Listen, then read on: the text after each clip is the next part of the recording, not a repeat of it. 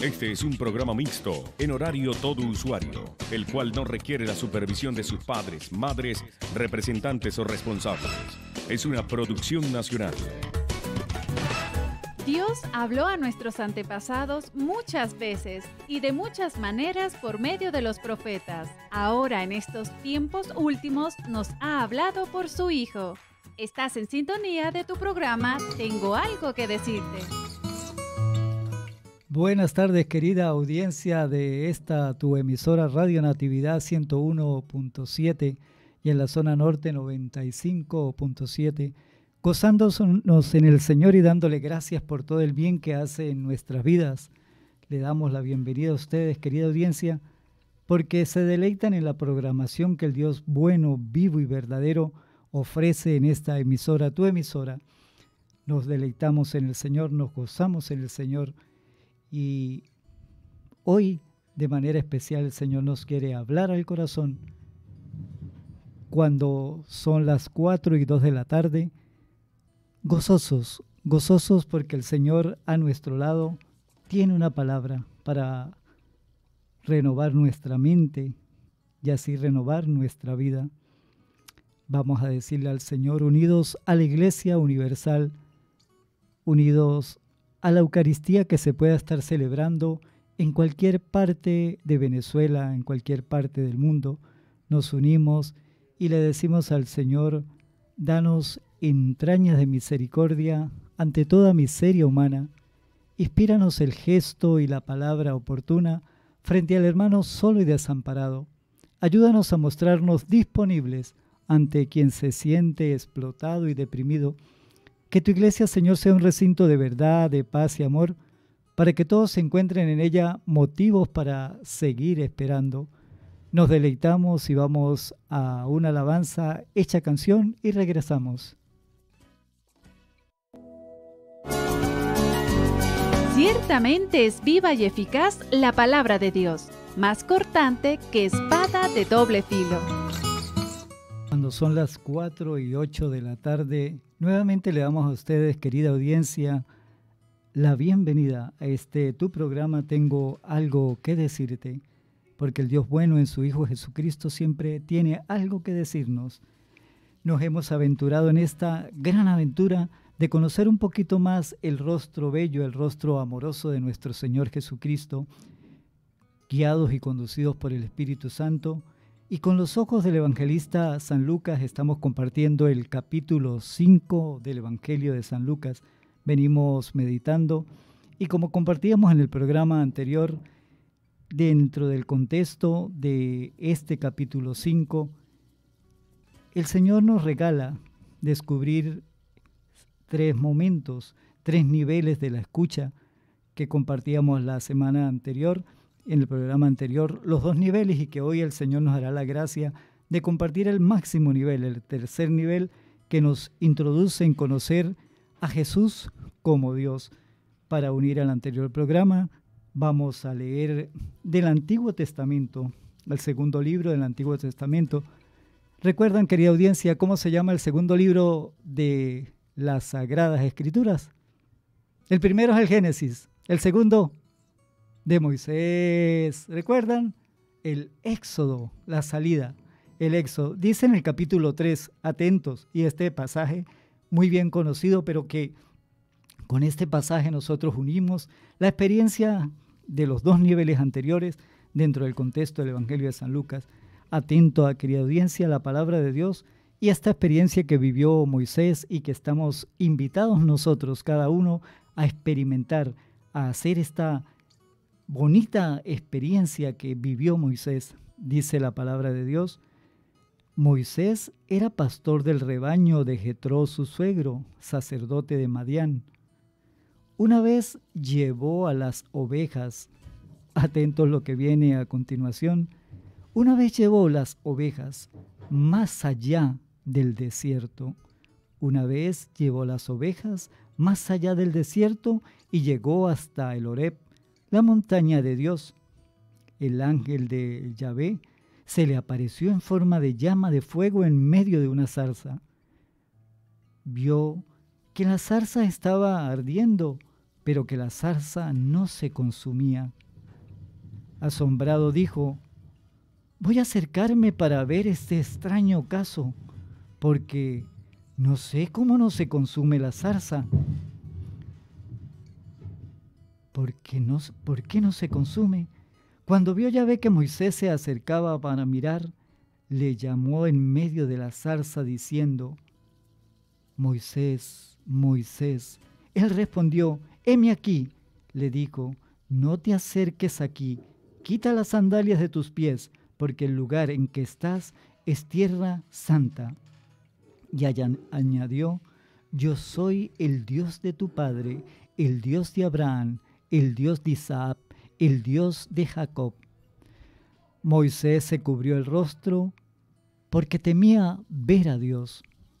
Palabra de Dios, te alabamos, Señor. Si recordamos, querida audiencia, Kleiber, si recordamos el anterior programa, hablábamos de que San Lucas nos muestra, guiado por el Espíritu Santo, que hay que ir, que tenemos que quedarnos en el mismo lugar o que hay que, tenemos que quedarnos en la orilla o hay que ir un poquito más allá. Hay que ir más allá, ¿verdad? La experiencia de Moisés nos dice que Moisés recorría todos los días el mismo lugar, daba vueltas por aquí, daba vueltas por allá, pero cuando fue más allá, solo cuando fue más allá, tuvo la experiencia de que había una zarza que se estaba consumiendo, pero atenta, querida audiencia, fue solo cuando fue más allá. Quisiera en este momento traer al recuerdo la experiencia de dos, un hombre y una mujer extraordinarios que nuestra historia el uno, el hombre lejano del siglo XIII, San Francisco de Asís, pero una mujer más cercana a nosotros del siglo XX, Santa Teresa de Calcuta. Francisco de Asís y Teresa de Calcuta y otros santos, muchos hombres y mujeres, han tenido esta experiencia de ir más allá, porque nosotros como cristianos estamos llamados no a quedarnos en la orilla, porque si nos quedamos en la orilla, no estamos haciendo nada. Estamos viviendo en la super superficialidad. No estamos profundizando, no nos estamos adentrando al conocimiento verdadero de Jesús. Vámonos con primero con San Francisco de Asís. Francisco, escucha el llamado del Señor, se entrega completamente al Señor, hasta la ropa se desnudó. ¿Recuerdan? ¿Han visto la película o han conocido la historia de Francisco?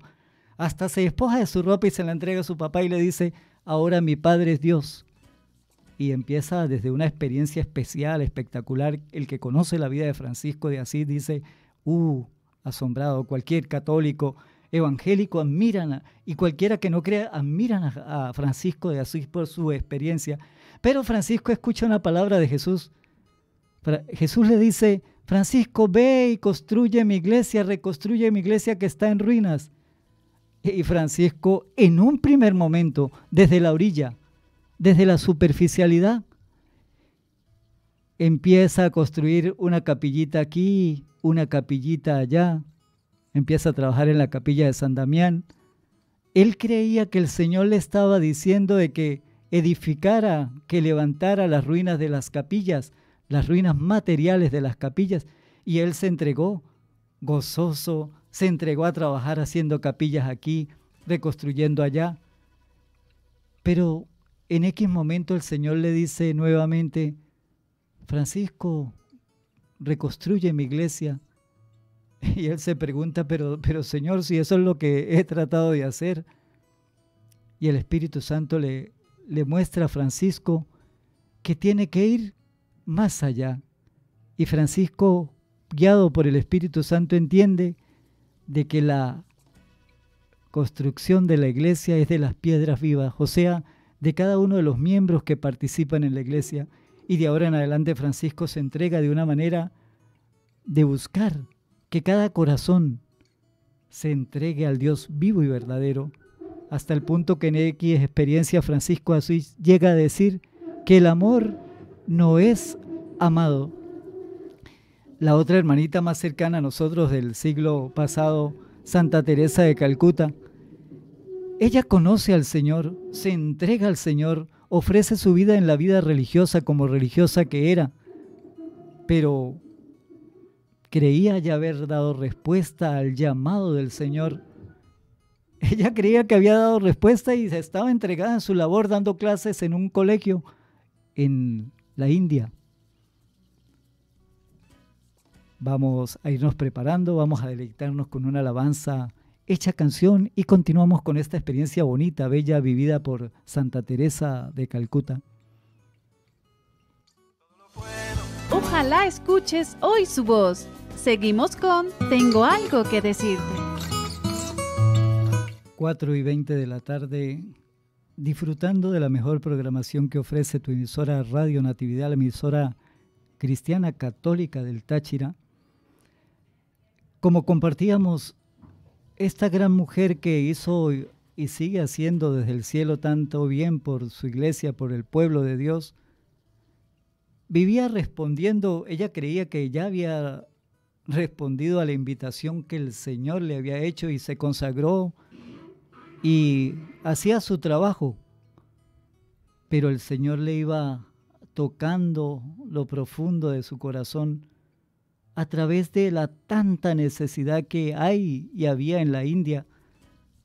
Pobres a montón por un lado y por otros, enfermos, niños en la calle, eh, una situación socioeconómica terrible, de dolor, de sufrimiento, gente muriendo, agonizando por un lado y por otro. Y cada, cada vez que ella pasaba, sentía que el Señor le hablaba, es como si el Señor le dijese que tienes que ir más allá y el Señor le fue tocando el corazón y ella tomó la decisión y fue más allá, hasta el punto que ella llegó a hablar de que tenía un llamado dentro del llamado, eso es ir más allá. En principio se consagró, pero cuando sintió que el Señor le pedía que fuera más allá, ella consagró de una manera especial su vida a los más pobres, a los más necesitados, y llegó a ser la gran mujer que hoy es Santa Teresa de Calcuta en su entrega, en su servicio. Vamos a adentrarnos en el capítulo 5 que venimos compartiendo, sabiendo que el Señor, como nosotros solemos hacerlo en este programa, que está aquí presente, como hizo con Moisés, como hace con los santos, como hace con el pueblo de Dios, nos mira a los ojos el Señor cariñosamente se acerca a nosotros, nos mira a los ojos, pronuncia nuestro nombre, personalmente nos habla a cada uno. A ti, querida audiencia, de manera personal, a ti que sintonizas la radio en este momento, el Señor te habla a lo profundo del corazón y te dice, tengo algo que decirte. Mi respuesta, nuestra respuesta ha de ser, Habla, Señor, que tu siervo escucha. Di, Maestro. Sabemos que para que el Señor pueda hablar y llegar a lo profundo de nuestro corazón, necesitamos aquietar nuestro ser, nuestra mente, nuestro interior, porque hay mucho ruido, ruido externo, ruido interno. Y solo el Espíritu de Dios aquieta, solo el Espíritu de Dios pacifica. Por eso le decimos, Ven Espíritu Santo, amor del Padre y del Hijo, inspírame siempre lo que he de pensar, renuévame en lo profundo de mi mente, para que pueda distinguir tu voluntad, lo bueno, lo agradable, lo perfecto. Inspírame lo que he de hacer, lo que he de evitar, lo que he de decir y cómo debo decirlo, lo que he de ver, lo que he de oír, lo que he de leer, lo que he de escribir, para actuar con prudencia y santidad para que con entrañas de misericordia trabaje por el bien de mis hermanos y así poder dar mayor gloria a tu nombre. Amén. Vamos a leer nuevamente los versículos 1, 2, 3, 4. Dice el Espíritu Santo en el Evangelio de San Lucas capítulo 5, versículo 1 al 4. Estaba él a la orilla del lago de Genezaret y la gente se agolpaba sobre él para oír la palabra de Dios. Cuando vio dos barcas que estaban a la orilla del lago, los pescadores habían bajado de ellas y lavaban las redes. Subiendo a una de las barcas que era de Simón, le rogó que se alejara un poco de tierra y sentándose enseñaba desde la barca a la muchedumbre. Cuando acabó de hablar, dijo a Simón, boga más adentro y echad vuestras redes para pescar. Simón le respondió, Maestro, hemos estado bregando toda la noche y no hemos pescado nada, pero en tu palabra echaré las redes.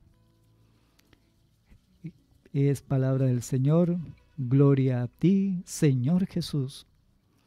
Compartíamos que en este contexto encontramos tres niveles de la escucha de la palabra de Dios. Recordando, el primer nivel estamos en la orilla, es el nivel de oír. Dice la palabra, empieza diciendo que esta muchedumbre estaba para qué? Para oír la palabra de Dios, no para escuchar la palabra de Dios. Estaban en el primer nivel de oír la palabra de Dios, como cuando uno escucha cualquier ruido, para oír, pero no para escuchar la palabra de Dios. Este nivel decíamos que es el nivel de la muchedumbre, el nivel que todo mundo eh, opina aquí, opina allá, ay, que Jesús esto, que Jesús aquello. ¿Quién dice la gente que, que soy yo? Preguntará Jesús, no, pues unos que esto, otros que aquellos. Es el primer nivel, el nivel de estar en la orilla. El segundo nivel extraordinario es el nivel de poner atención en Jesús, ser seducidos por la palabra de Jesús y descubrir que Jesús es maestro, porque como compartíamos, Jesús se sienta y Jesús enseñaba a, termina diciendo el versículo 3, subiendo a las barcas que era de Simón, rogó que se alejara un poco de tierra y se sentó, enseñaba desde la barca a la muchedumbre. Como maestro que se sienta, enseña a la, a la muchedumbre. Pero este es un nivel que si nosotros nos quedamos en este nivel, tenemos tres niveles, Kleiber, querida audiencia, tenemos tres niveles, el primero, el segundo y el tercero. Si yo me quedo simple y llanamente en el segundo nivel, estoy en el nivel, pudiéramos decir, el nivel de la mediocridad. Esto tiene un detalle sumamente importante, querida audiencia, y presten mucha atención. El primer nivel estamos en la orilla, y es un nivel muy general de la muchedumbre, de la euforia colectiva, del de para dónde va Vicente, para dónde va toda la gente. El segundo nivel es un nivel un poquito más profundo, pero dentro del contexto todavía estamos en la multitud. No hay una relación personal todavía con Jesús. Pero Jesús empieza a hablar con su gesto, se monta en la barca, se monta en la barca de, de Pedro, con un gesto habla. Y Pedro se viene, Jesús lee, le dice, por favor, adentrémonos. Vamos a deleitarnos con una alabanza hecha canción y continuamos editando esta palabra. Es contigo, te interesa, escucha. Dice la palabra de Dios que cuando acabó de hablar, dijo a Simón, boga mar adentro y echa la red para pescar. Decíamos en el anterior segmento que en el segundo nivel estamos todavía dentro de el grupo de la muchedumbre, en el nivel de escuchar un poquito más que oír, escuchar. Y empezamos a ver a Jesús como maestro, como maestro que enseña. Pero nos podemos quedar en la mediocridad cuando Jesús pasa a ser solamente un maestro más Sigo a uno por aquí, sigo a otro por allá, pero no sigo adentrándome hacia la profundidad donde Jesús nos quiere introducir para conocerle como es Dios entre nosotros, el Emmanuel, Dios con nosotros.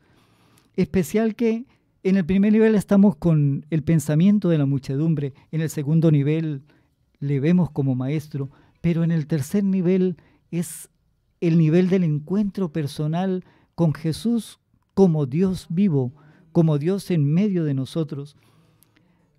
Especial que el, versículo 4 nos dice que cuando acabó de hablar a la muchedumbre, cuando acabó de hablar, atentos a esto querida audiencia, cuando terminó de hablarles a la muchedumbre, ahora se va a dirigir de manera personal a ti, cada uno que está en la audiencia de este tu programa, tengo algo que decirte a mí, a cada uno de nosotros nos habla de manera personal para conducirnos al tercer nivel de la escucha. Pronuncia mi nombre. Y como lo dijo con Pedro, en este caso Pedro es como el modelo. Cuando acabó de hablar, dijo a Simón, le dirige una palabra, una palabra dentro de una situación que él está viviendo, no una palabra abstracta, una palabra que no tiene que ver con mi vida. Le dirige una palabra personal en su situación personal y dice, pon a mar adentro y echa las redes para pescar. Vamos a ubicarnos bien, querida audiencia. Jesús diría el arzobispo Fulton Chin, si alguno puede buscar por internet, leer algún libro de él, hombre santo que murió en olor de santidad, dice que Dios es el eterno sagüeso que nos persigue, nos busca para tratarnos de manera personal, no de manera colectiva, no de manera dentro de la muchedumbre, dentro de la muchedumbre, pero de manera personal. Y vamos a ubicarnos, dice que Jesús ya viene invitando porque el tercer nivel de, la escucha en este contexto es un nivel que es todo, no es un momento, es todo un proyecto, es toda una serie de etapas en las que vamos adentrándonos en la verdadera escucha.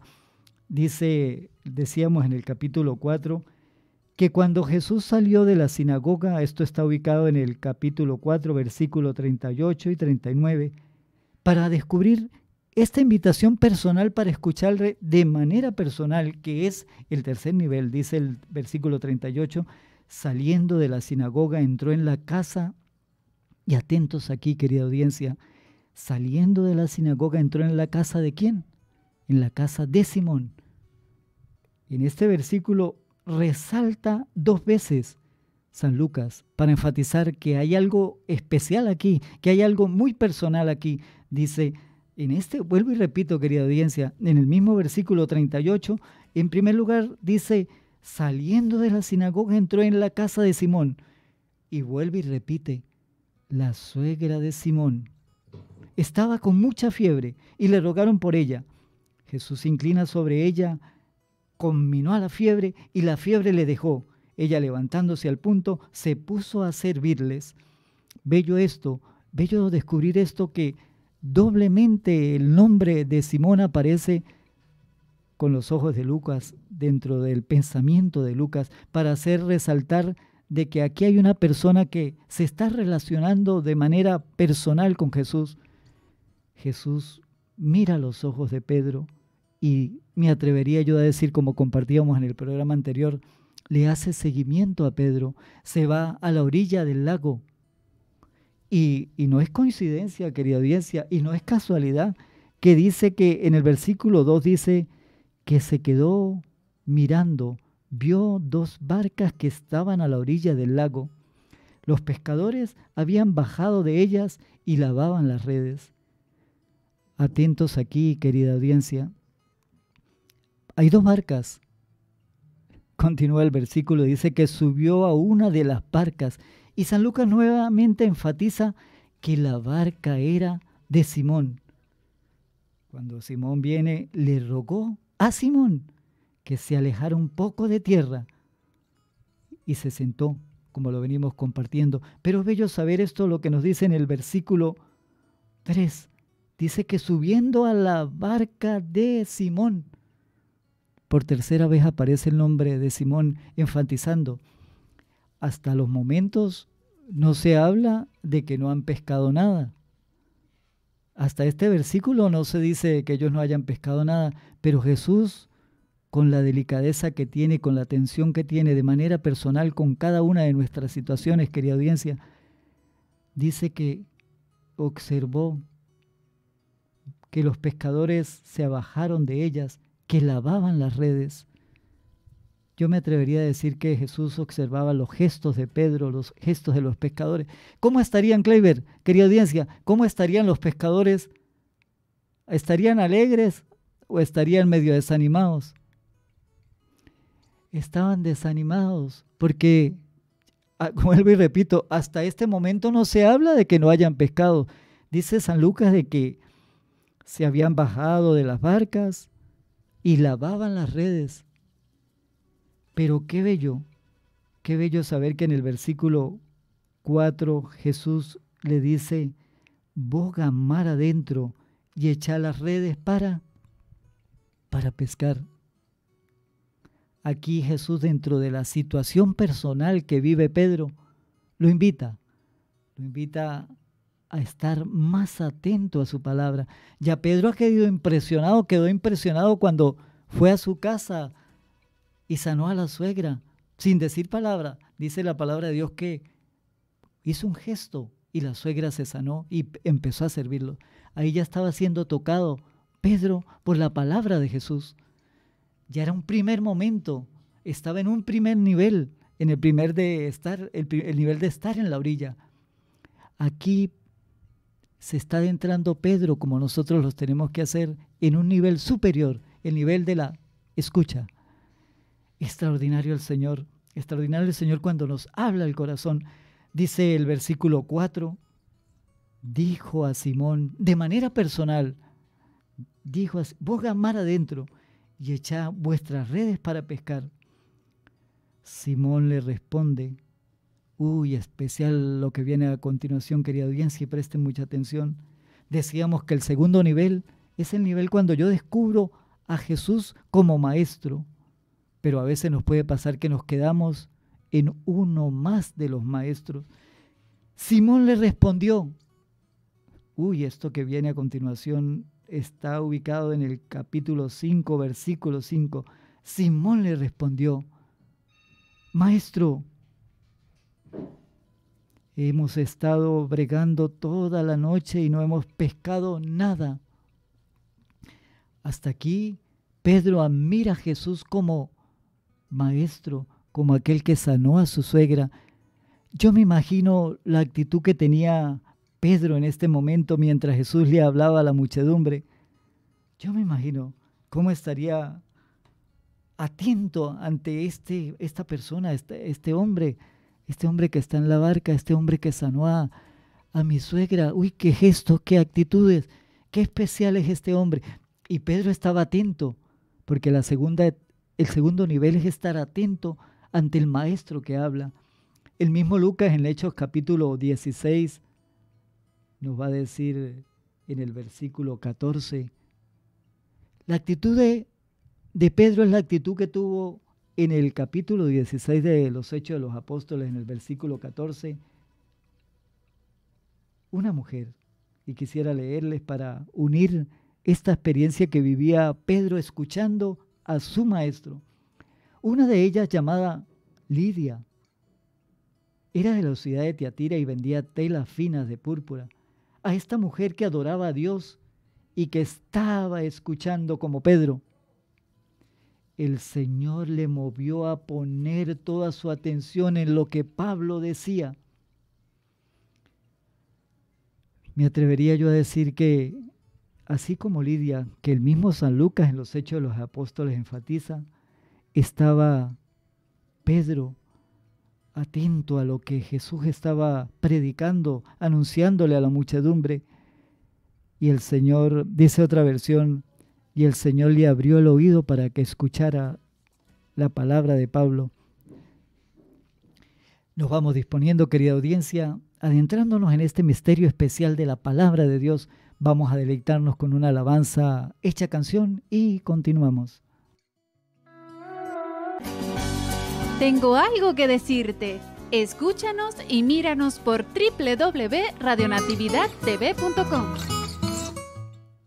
Radio Natividad se está preparando para el gran acontecimiento que cada año, en las vísperas del gran acontecimiento del Día de Todos los Santos, del Día de los Fieles Difuntos, y en un acontecimiento dañino que en la sociedad, en los medios de comunicación se enfatiza, Radio Natividad se va preparando para la gran noche de la luz, para compartir con ustedes, querida audiencia, para compartir con el pueblo de Dios, para ofrecer bendiciones. Por eso le hacemos la reiterada invitación que viene haciendo Radio Natividad para el próximo sábado 28, sí, Kleiber. A partir de las 5 de la tarde estaremos compartiendo con ustedes, querida audiencia, en esta gran bendición que el Señor tiene preparado a través del rosario, la Eucaristía, con el compartir con el Padre Gustavo, con el hermanito eh, Angola, no me acuerdo el nombre, Andrés, que estará deleitándonos con su bella música que el Señor le ha inspirado y con todos ustedes que van a estar acompañándonos en esta bonita experiencia. Y Anderson Useche, ajá. Eh, vamos a continuar, querida audiencia, ya preparándonos a ir despidiendo el programa. Eh, desde la versión de Jerusalén quisiera compartirlo de la manera tan bonita como lo dice San Lucas capítulo 16, versículo 14. Dice, una de ellas llamada Lidia, vendedora de púrpura, natural de la ciudad de Teatira, y que adoraba a Dios, nos escuchaba. Dice esta versión de Jerusalén de manera más eh, enfática, de manera extraordinaria, dice, el Señor le abrió el corazón para que se adhiriera a la palabra de Pablo y como veníamos compartiendo, Pedro está atento a lo que Jesús está hablando y el Señor le abre el corazón para que se adhiera, para que se una, para que asuma la palabra que Jesús está pronunciando a toda la muchedumbre y, a, a, él, por supuesto. Y en esta experiencia el Señor de manera personal le habla y le dice, boga mar adentro y eche las redes para, con una intención para pescar, porque Jesús observó que estaban como cabizbajos allá en la orilla, no habían podido pescar nada. Y el hecho de no pescar implicaba el día tremendo, no llevar, no tener, no, no producir. Y Pedro, habiendo escuchado a Jesús como maestro, uy, de manera especial, y preste mucha atención, querida audiencia, dice, maestro, ya reconociendo a Jesús como maestro porque ha puesto atención a Él y sabe que Él es el maestro de los maestros, el Señor de señores. Maestro, Simón le respondió, Maestro, hemos estado bregando toda la noche y no hemos pescado nada. Hasta aquí está la experiencia de un hombre curtido en la pesca. Nos puede pasar a nosotros que decimos, no, yo esto lo sé, no, yo aquello también lo sé, no, yo tengo experiencia en esto, tantos años aquí, no, yo esto y aquello. Y podemos tener a Jesús como otro maestro, pero yo me puedo poner por encima de él. No, yo ya yo tengo tanta experiencia. Aquí, y preste mucha atención, querida audiencia, extraordinario la manera como va a responder Pedro, porque ha quedado seducido por la palabra de Jesús, como tenemos que quedar nosotros. Dice Pedro, uy, que la palabra que quede hoy impresa en lo profundo del corazón, grabada en lo profundo del corazón, sea esto. Y no hemos pescado nada. Pero en tu palabra, pero en tu palabra echaré las redes. Tú eres el maestro, tú eres el que sabe. Yo no sé, Señor, nada. El maestro eres tú. Y porque tú lo dices, dirá otra versión, porque tú lo dices, echaré las redes. Ante las situaciones difíciles, querida audiencia, de nuestra vida, a veces queremos nosotros poner por delante nuestra experiencia. Es importante, por supuesto, pero a veces hay que dejar de lado nuestra experiencia, porque yo no soy el maestro, el maestro es Jesús. Y por tu palabra, confiados, confiados en la palabra de Jesús, podemos seguir adelante, seguir adentrándonos en el conocimiento de Jesús. Hasta aquí todavía pudiéramos decir no hemos entrado en el tercer nivel, el nivel de reconocer a Jesús como el Señor, como Dios en medio de nosotros, como el Dios grande, como el Dios poderoso. Bello, bello esta experiencia de que Pedro reconoce que Él es el Maestro, que quede esto bien claro, y deja a un lado su experiencia. Nosotros hemos hecho todo lo que estaba a nuestro alcance, pero como tú lo dices, echaremos las redes. Vámonos disponiendo para ir atentos a lo que el Señor va haciendo en nuestras vidas. Vamos a ir eh, preparándonos a ir despidiendo nuestro programa y el Señor nos concederá la gracia de ir eh, la próxima semana adentrarnos, ir adentrándonos en el conocimiento de Jesús como Dios. Eh, el Dios bueno está aquí, el Dios bueno está con nosotros, el Dios bueno nos ha bendecido, el Dios bueno nos da la orden de ir más allá. Damos gracias a ustedes, querida audiencia, por estar atentos a la mejor programación que ofrece Radio Natividad. Damos gracias a nuestro operador Kleiber, a Marianita. Damos gracias a todos aquellos que en este momento están atentos a lo que el Señor quiere hacer en nuestras vidas. Si el Dios bueno permite, nos estaremos viendo en un próximo programa. Que el Señor nos bendiga y nos guarde. Que el Señor nos muestre su rostro y tenga misericordia. Que el Señor haga resplandecer su rostro y nos conceda la paz. Abrazos y bendiciones y si el Señor Dios bueno permite, nos veremos.